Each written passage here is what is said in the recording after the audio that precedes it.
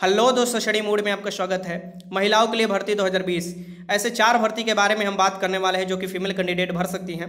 खासकर जो लड़की कमेंट कर रही थी कि, सर, बताइए कि कौन कौन सी अभी वैकेंसी है जिसमें हम लोग फॉर्म डाल सकते हैं, ठीक? जिसकी योग्यता क्या होगा फ़िज़िकल क्या होगा आपकी हाइट कितनी होनी चाहिए, और इसमें सिलेबस क्या होगा, और इसके एग्ज़ाम किस टाइप से होंगे सीबीटी होंगे कि ऑनलाइन होंगे कि ऑफलाइन होंगे, ये सभी बात हम करने वाले हैं, ठीक? तो ये सभी वीडियो मैं लड़कियों के लिए बना रहा हूँ। जो भी ये वीडियो है, ये शुरू से लेकर अंत तक ज़रूर आप देखिएगा तो सभी जानकारी आपको मिल जाएगा इसमें, ठीक? तो चलिए वीडियो स्टार्ट करते हैं। सबसे पहला वैकेंसी जो है, ये वैकेंसी पिछले साल से ही शुरू किया गया, पिछले साल सौ वैकेंसी आया था इसमें, इस साल जो है निन्यानवे आया है। तो यहाँ पर देख सकती हैं जी है जनरल ड्यूटी वोमेन जो सोल्जर है, आपको आर्मी में ये आपको वैकेंसी है, ये आप जो भी इच्छुक हैं गर्ल्स वो भर सकती हैं, जिनका एज आपको साढ़े सत्रह से इक्कीस के बीच में है। मीन्स कि जिनका जन्म जो हुआ है, अक्टूबर उन्नीस सौ निन्यानवे से अक्टूबर 2003 के बीच में है, वो ये भर सकती हैं फॉर्म ठीक? इसका जो लास्ट डेट है, यहाँ पर रजिस्ट्रेशन का ये इकतीस अगस्त दिया हुआ है। यहाँ पर साफ़ साफ़ देख सकती हैं कि इकतीस अगस्त इसमें लास्ट डेट दिया है। मीन्स कि ये महीने का लास्ट तक आपका है। इसमें जो हाइट चाहिए, एक सौ बावन सेंटीमीटर चाहिए। ये जो भी वैकेंसी पूरा होता है, सबसे पहले इसका फ़िज़िकल होता है। मीन्स कि आपको रनिंग होगा उसमें, फिर उसके बाद आपको मेडिकल फिर उसके बाद ही रिटर्न होता है। मीन्स कि सबसे पहले आपको फ़िज़िकल लिया जाता है। इस बात को ध्यान में रखिएगा।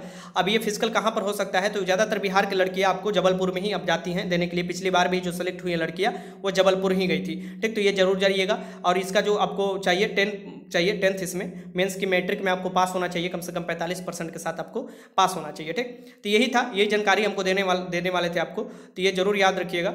और ये जो वैकेंसी है, ये ज़रूर इसका रजिस्ट्रेशन कर लीजिए। इसका जो ऑफिशियल वेबसाइट है, यहाँ पर इंडियन आपको देख सकते हैं ज्वाइन इंडियन आर्मी इसका ऑफिशियल वेबसाइट है। और इसमें आप क्लिक कीजिएगा तो कैप्चा मांगेगा कैप्चा मान के इंटर कीजिएगा तो ऐसे फेस खुल कर इसका आएगा डेस्कटॉप मोड में। इसमें जो जी और ओ एंट्री है, यहाँ पर क्लिक कीजिएगा, इसके नीचे आपको दिया होगा। वहाँ पर क्लिक कीजिएगा तो ये खुल कर आ जाएगा। ऐसे आपको पूरा नोटिफिकेशन आएगा, जहाँ से ये वाला आप नोटिफिकेशन आराम से पढ़ सकती हैं। पाँच सौ का है। इसमें सभी सभी जानकारी दिया हुआ है, ठीक? तो ये ज़रूर अपना सेंटर आप खुद ही चूज़ कर सकती है, जहाँ पर आप फ़िज़िकल देना चाहती है, ठीक? बिहार की जो भी लड़कियाँ हैं तो ये फॉर्म ज़रूर भरिएगा, जो भी इच्छुक है, जिनका एज अभी बचा हुआ है। आगे देखते हैं। आगे का जो वैकेंसी है, दिल्ली पुलिस में आए कांस्टेबल की भर्ती है, आया हुआ है, और इसमें फीमेल के कितनी सीट है तो लगभग दो हज़ार के करीब करीब फीमेल की सीट है, और ये ऑल ओवर इंडिया है। ऐसा नहीं कि इसका बिहार में सेंटर नहीं है, बिहार में भी सेंटर है तो बिहार की जो भी इच्छुक लड़कियाँ जो बिहार पुलिस कांस्टेबल की तैयारी करती हैं, वो ये फॉर्म के डाल सकती हैं। हाँ जॉब आपका दिल्ली में होगा, दिल्ली में जाकर आपको जॉब करना होगा, लेकिन जो परिवेश होगा, बहुत ही अच्छा होगा। नीचे वाला पढ़िएगा कोर्ट तभी आपको समझ में आ जाएगा। ये जो भर्ती है यहाँ पर दिया हुआ है, देखिए government service to have a workforce which reflect gender balance and women candidate are encouraged to apply means की आपको प्रोत्साहित किया जा रहा है लड़कियों को कि ये फॉर्म भरे और वो जेंडर इक्वलिटी में योगदान दे। ठीक, ये आपको पूरा दिया हुआ है। इसका जो लास्ट डेट है, ये सात सितंबर है। यहाँ पर आप देख सकते हैं, इसका लास्ट डेट जो है सात सितंबर है। आपको एक अगस्त से ये शुरुआत हुआ है तो इसका लास्ट डेट यहाँ पर सात सितंबर दिया हुआ है, ठीक? अब यहाँ पर देखिए, इसमें टोटल जो सीट की संख्या है फीमेल कैंडिडेट यहाँ पर आप देखिए डायरेक्ट जिस पर आप फाइट कर सकती हैं, ये उन्नीस सौ चौवालीस है। इसके लगभग दो हज़ार के करीब आपका सीट है। टोटल पाँच सीट है, जिसमें आपको मेल कैंडिडेट का और सब सीट है। तो इसमें ज़रूर आप फॉर्म भरिएगा, ठीक? ये आपको सिर्फ़ फीमेल के लिए ये सीट आपको रिज़र्व रख दिया गया है। ये ऑल ओवर इंडिया है, सभी भर सकती हैं, सभी अपना आरक्षण का भी लाभ ले सकती हैं, जो एस सी एस टी ये सभी इसमें प्रावधान रहेगा, क्योंकि ये जो भी भर्ती हो रहा है, ये एस के थ्रू हो रहा है सेंट्रल सिलेक्शन बोर्ड यहाँ पर आप देख सकते हैं कि इसमें जो आपको एज चाहिए अठारह से पच्चीस, जो कि आपको, जो आपको एज जैसे आपको दिया जाता है सेंटर के जो भी जॉब में आता है इसके जनरल कैंडिडेट में ए जो भी है, ये जो गर्ल्स है, इनका अठारह से पच्चीस चाहिए एज और जो पाँच साल का छूट दिया जाता है एस सी के कैंडिडेट के लिए और तीन साल का छूट दिया जाता है ओबीसी के कैंडिडेट के लिए, ये इसमें छूटों का प्रावधान दिया हुआ है, ठीक? जो नेशनल और इंटरनेशनल लेवल का खिलाड़ी है, उनके लिए पाँच साल का भी छूट है। तो यहाँ पर ये पूरा प्रावधान दिया हुआ है तो ज़रूर ये फॉर्म आपको डालना चाहिए, ठीक? आगे देखते हैं। इसमें है कि एसेंशियल क्वालिफिकेशन एसेंशियल क्वालिफिकेशन आपको क्या चाहिए? तो ये टेन प्लस टू चाहिए, यहाँ पर देखिए साफ़ साफ़ दिया हुआ है।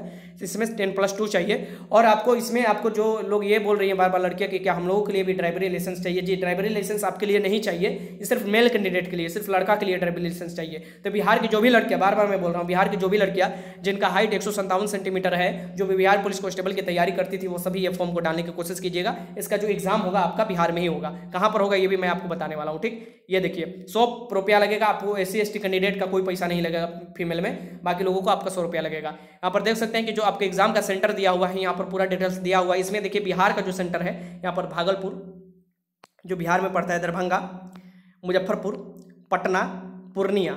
ये जो है, ये सब जो है, ये आपको बिहार का है और यूपी का भी है सटे हुए कुछ, जैसे कि आपको गोरखपुर में डाल सकती हैं।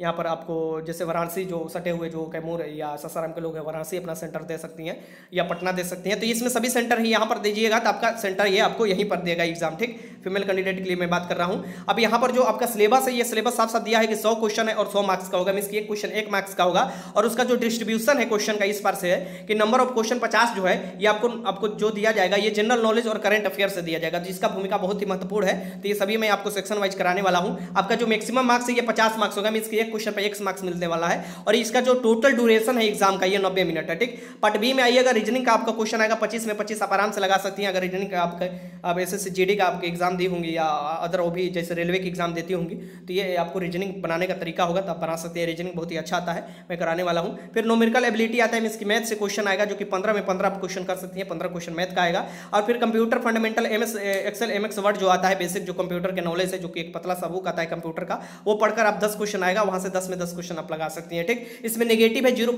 याद रखिएगा, चार क्वेश्चन गलत कीजिएगा तो एक पचवा मिस के एक सही क्वेश्चन भी आपका गलत मिस की काट लिया जाएगा, ठीक? तो इसमें नेगेटिव है तो वही क्वेश्चन करना है, जो कि आपको क्वेश्चन आ रहा है। इसे भी ध्यान में रखिएगा। अब यहाँ पर देखिए हाइट का जो बार बार लड़कियाँ पूछ रही थी कि हाइट का क्या है? तो हाइट में यहाँ पर देख सकती हैं कि जो मिनिमम हाइट दिया है, एक सेंटीमीटर हाइट दिया हुआ है, ठीक? आपको किसके किसके लिए? तो ये आपको दिया हुआ है ईडब्ल्यूएस के लिए जनरल कैंडिडेट जनरल कैंडिडेट की जो लड़की है उनके लिए ईडब्ल्यूएस के लिए आपको। साथ में ये भी ध्यान में रखिएगा, इसमें ये भी दिया हुआ है कि जो ओबीसी में है। अब यहाँ पर एस सी एस के जो दिया हुआ है, ये आपको देखिए एस सी का आपको दो सेंटीमीटर का छूट दिया हुआ है। आगे देखते हैं इसमें। अब आपको हम बात कर लेते हैं इसका ऑफिशियल वेबसाइट तो इस ऑफिशियल वेबसाइट यहाँ पर देखिए दिया हुआ है। आप ये देखिए, ये आपका ऑफिशियल वेबसाइट है स्टाफ सिलेक्शन कमीशन और यहाँ पर देखिए, ये आपका जो यहाँ पर आइएगा, एक अगस्त वाला में आया था, एक अगस्त से फॉर्म भरा जा रहा है। लेकिन सात अगस्त का एक और नोटिफिकेशन आया था। ठीक, इसमें क्या बताया गया था कि आप जल्दी से जल्दी फॉर्म भर लीजिए, क्योंकि लास्ट डेट का आप इंतज़ार कीजिएगा। तो लास्ट डेट में अगर सर्वर डाउन होता है तो इसका जिम्मा हम नहीं उठाएँगे।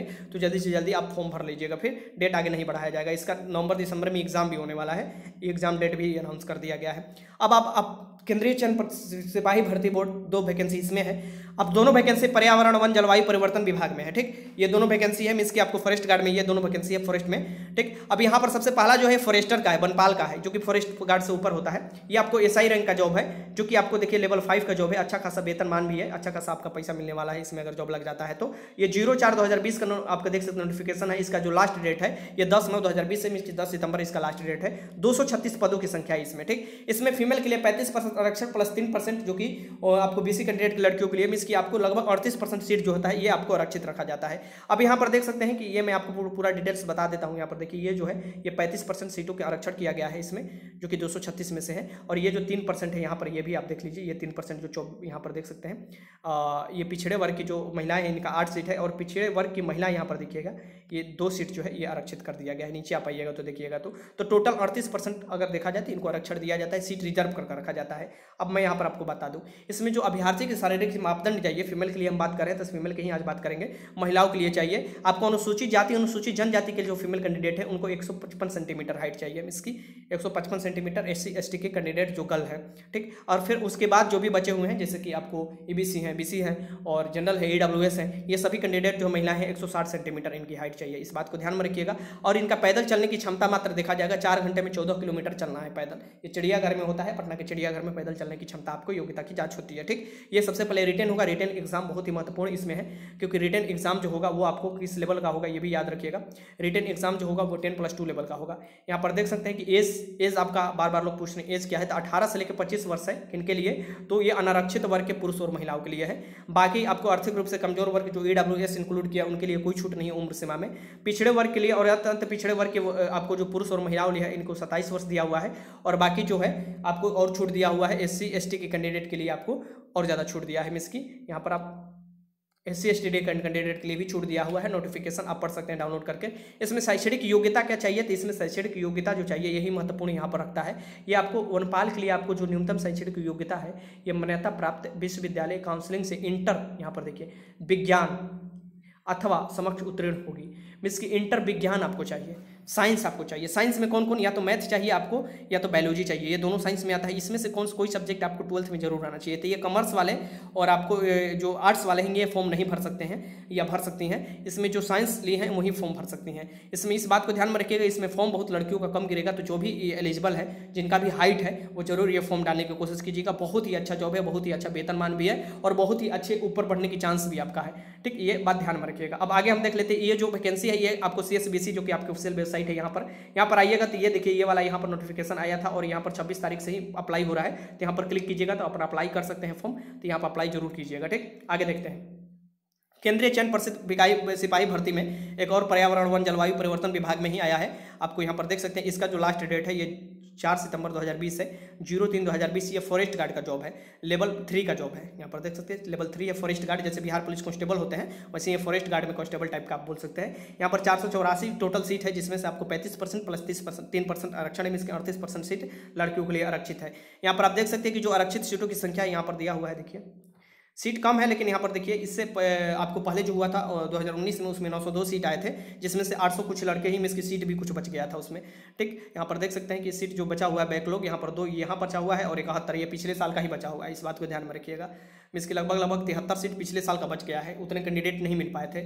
और इसमें जब ये रिटर्न होता है, इसमें भी आपको नेगेटिव मार्किंग होता है इसकी वन बाई थर्ड होता है, काफ़ी ज़्यादा नेगेटिव मार्किंग आपको फॉरेस्टर में भी और फॉरेस्ट गार्ड में, दोनों में नेगेटिव मार्किंग होता है, ठीक? यहाँ पर टोटल पदों की संख्या देख सकते हैं, चार सौ आपको यहाँ पर देखिए चार सौ कितना है? चौरासी है, जिसमें से आपको आरक्षित सीटों की संख्या दिया हुआ है, ठीक? यहाँ पर जो चाहिए वो भी आपको टेन प्लस टू चाहिए, लेकिन इसमें जो टेन प्लस टू है, इसमें सभी फॉर्म भर सकते हैं, मीन्स की फॉरेस्ट गार्ड में। आपको आर्ट्स से भी फॉर्म जो है, साइंस जो भी की है, और आपको कॉमर्स से जो भी की है, ये सभी फॉर्म भर सकती हैं, इस बात को ध्यान में रखिएगा, ठीक? जो भी एग्ज़ाम का परीक्षा स्तर होगा, ये मैट्रिक को होगा, लेकिन फॉरेस्टर का, इंटरमीडिएट को होगा। इसमें जो आपको एज दिया हुआ है, ये एज आपको ध्यान में रखिएगा कि जो अनारक्षित वर्ग के पुरुष महिला है, उनका अठारह से तेईस वर्ष है जिसमें कि फॉरेस्टर में पच्चीस दिया हुआ था, लेकिन फॉरेस्ट गार्ड में तेईस है। आर्थिक रूप से कमज़ोर के लिए कुछ छूट की सीमा नहीं है। पिछड़े वर्ग और अत्यंत पिछड़े वर्ग के पुरुष और महिलाओं के लिए न्यूनतम अठारह वर्ष और अधिकतम पच्चीस वर्ष है, ठीक? तो इनको आपको दो साल के लिए छूट दिया गया है, पिछड़े वर्ग और अत्यंत पिछड़े वर्ग के पुरुष महिलाओं के लिए। अनुसूचित जाति, अनुसूचित जनजाति के पुरुष और महिलाओं के लिए कितना दिया है? तो अठारह से अट्ठाईस वर्ष का आपको इसमें एज दिया है, ठीक? इनको तीन साल की छूट दिया, तीन साल नहीं, यहाँ पर देख सकते हैं, पाँच साल का छूट दिया हुआ है। ठीक? तो ये आपको प्रावधान दिया हुआ है, यहाँ से आप देख लीजिएगा। अब ये जो है, यहाँ पर देखिए कि इसमें क्या है इनका तो इसमें जो आपको अभ्यर्थी की शारीरिक मापदंड चाहिए, ये आपकी मैं महिला के लिए बात कर रहा हूँ, महिला के लिए कितना चाहिए? तो 155 सेंटीमीटर किन के लिए चाहिए? तो अनुसूचित जाति, अनुसूचित जनजाति के महिलाओं के लिए आपको चाहिए, इसकी एस सी कैंडिडेट की महिलाओं के लिए चाहिए, ठीक?